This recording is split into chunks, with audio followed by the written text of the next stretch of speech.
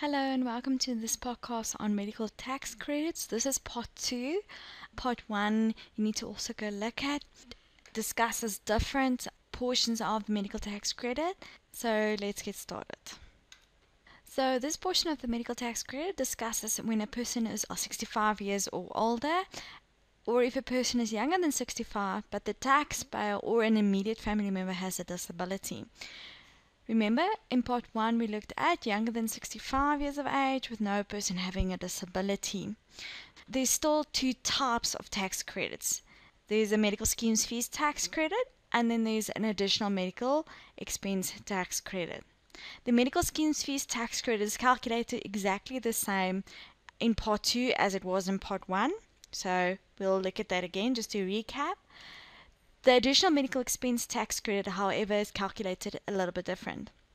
So you take your medical aid contributions, both the employer and the employee. From that, you deduct three times the medical schemes fees tax credit, which was calculated in Part A.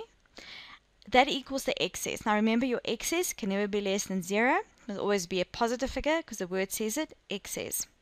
To that, you're going to add your other qualifying expenses, which you're going to either multiply with 33.3% or you're going to divide it by a factor of 3.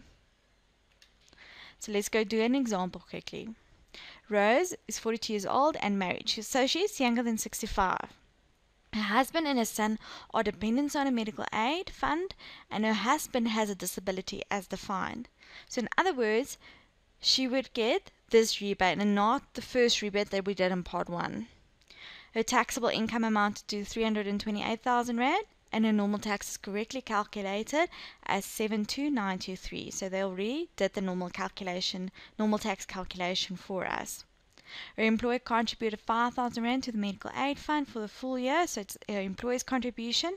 And then she also made the following payments her medical aid contributions, plus qualifying medical expenses paid and not refunded by the medical aid. And then they ask us to calculate her medical tax credits for the current year of assessment. So to start off, we need to go and calculate the medical schemes fees tax credit, part A of it. Now remember, this is a fixed amount, and it's 270 Rand for the first two people on the medical aid, thereafter 181. So you will see it's 270 for her, 270 for her husband, and 181 for her child. You will see it comes to four, 721 Rand per month. Because they contributed to the medical aid fund for 12 months, you're going to go and multiply it with 12, and this is deducted as a rebate. Now remember, a rebate is a deduction against your normal tax. It's not a deduction in your taxable income. So if you put it into perspective, you will see you take your taxable income. From that, you calculate your normal tax. Refer to the podcast on how to calculate your tax per tax tables. And then usually after that, you would go and deduct your age rebates.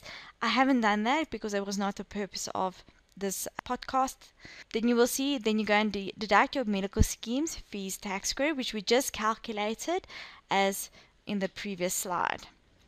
Okay. So part two is you need to go and calculate the additional medical expense tax credit. Now we just looked at it.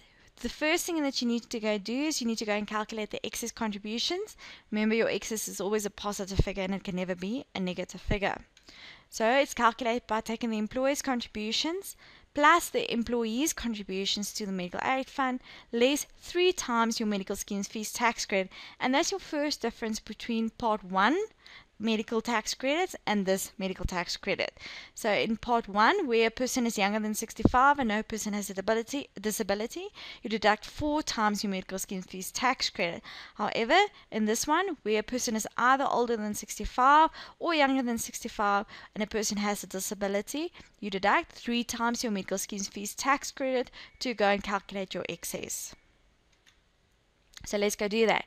Take your employee contribution of 20,000 plus your employer's contribution of 5,000, add them to together, then deduct three times your medical schemes fees tax credit, which was 8652, which we calculated in part A of this calculation. So now you will see your excess is zero. The reason is because your excess can never be a negative. Your excess must always be positive. So because the three times medical schemes fees tax credit against your contributions is greater than your contributions, your excess will be zero. The next step is to go and add your other qualifying expenses to the excess. That's pretty easy. Because our excess is zero, we just go and add the other qualifying expenses, which is 30,000 Rand. Okay, so step two, done. Step three is you need to go multiply with the inclusion. You'll see this is a little bit easier than part one medical tax credit because the part one medical tax credits you need to, needed to go and apply limitation, which sometimes is a little bit confusing.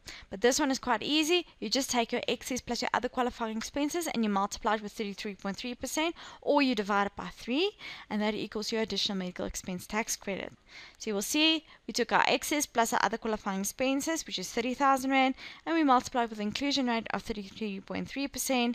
So you will see we have an additional medical expense tax credit of 9,990. I hope this podcast helps you to understand uh, the second type of medical tax credit you can get if a person is either 65 years or older or younger than 65, but either the taxpayer or the dependents of the taxpayer has a disability as defined. Bye bye.